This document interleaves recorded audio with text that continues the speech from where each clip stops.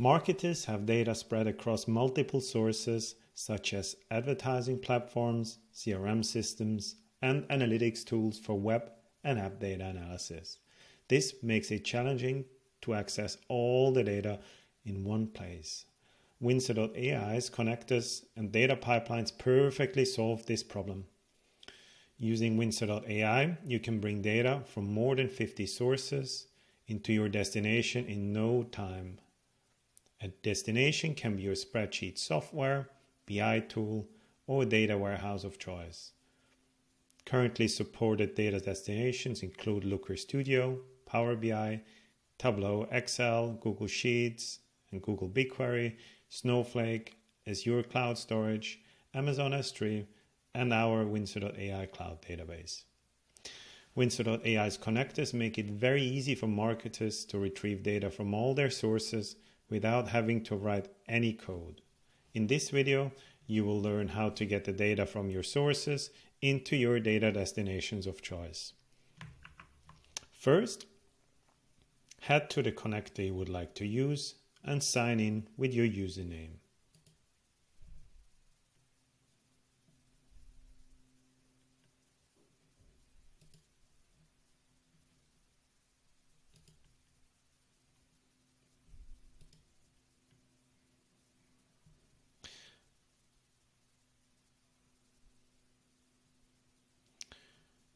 Now the Google Analytics views I have added are loading and you simply repeat the step for all the different connectors where you would like to import data from. Here for this demo, I have Google Analytics, Google Ads, and Facebook Ads. Now, once you have added, you head to the data preview. Once you are in the data preview, you will need to select the fields you want to use in your data destination. In this video, I will demo how to get data into Looker Studio, Power BI, and Google Sheets. Let's start with Looker Studio. Simply click on the logo and then select the accounts you would like to use with the connector. This default connector, which is called ad and CRM Data and Attribution Connector, connects to all the accounts which you have connected in Windsor's data connector platform. Select the accounts. In case there is no account selected, it will automatically load data from all accounts. Now I click connect and now populates the field list and from here I can then create the dashboard.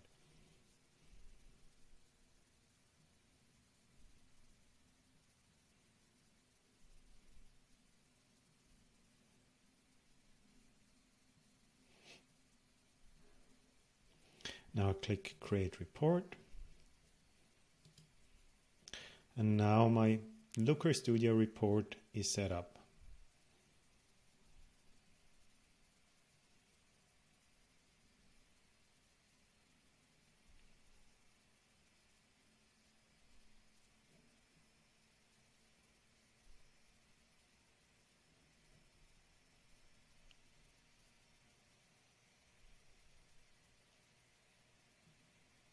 Now, of course, you may want to customize the dashboard a bit to your liking and use the metrics and dimensions you have available uh, once you enter the, uh, the edit mode.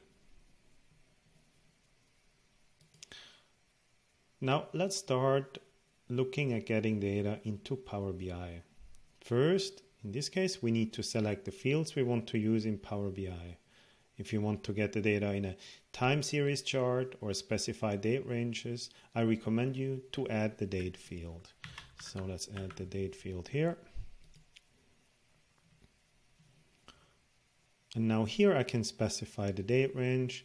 We keep it short for seven days. So the data loading is fast in Power BI for the demo. And what we have now here is a blended data set, which gets data from all the accounts which I have connected here, which you can see here. Now I simply go here and click the copy button and then I head to Power BI And over here, I click on get data, web, paste the URL, click OK, and now the data is loading.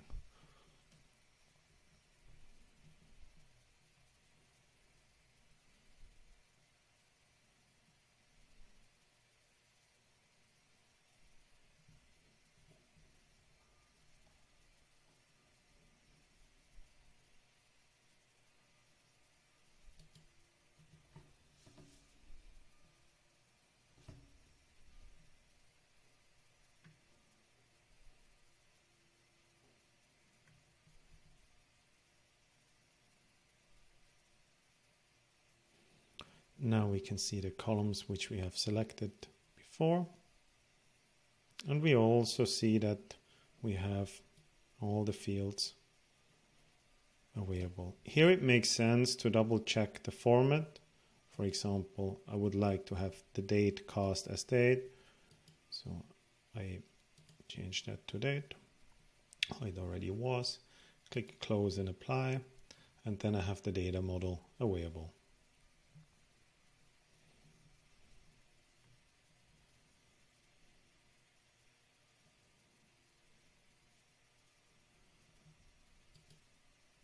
Now I can use it. Say let's for example I'm using the account name and I'm using spend dimension. This will give me the spend on all the accounts. Now simply head back to onboard.windsor.ai in case you want to change your queries add fields or connect additional connectors. Now let's have a look at how we get data into Google Sheets. Simply we click back here. Now we click on Google Sheets. Now there is, if you click this button here, it will lead you to an install prompt on how to install our Google Sheets plugin, which I have already done here. And now I have already opened the extension, which you can find here. First time you use it, you will need to log in and then after you simply click on get data into sheet. Now for this example here I want to query Facebook data. So I name this data Facebook ads data Spe specify my target sheet name which is here Facebook. Select my data source.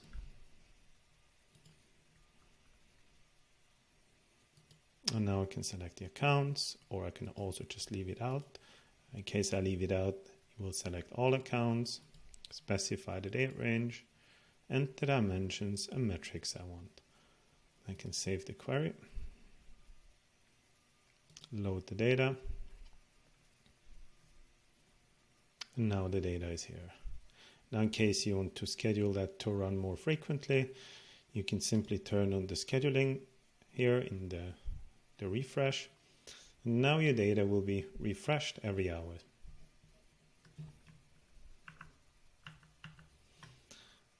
Now, thanks very much uh, for watching this video.